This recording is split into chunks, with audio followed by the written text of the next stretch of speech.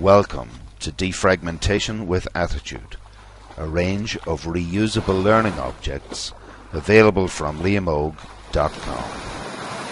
This short video explains how to remove the front fascia from a Renault Master van part of a motorhome manufactured circa 2005.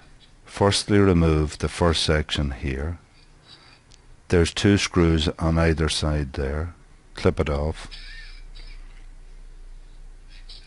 The next section to clip off is this part here. This just clips from over here. It just clips off. If we move over to the driver side then, in order to clip off the same unit, what we need to do is unscrew the two screws underneath the column which unscrews these two sections here then you have to release four 13 mil bolts to release the steering wheel which just drops a little bit which allows you then to clip off this unit here. Again the fuse, fuse box opens up by releasing these buttons here.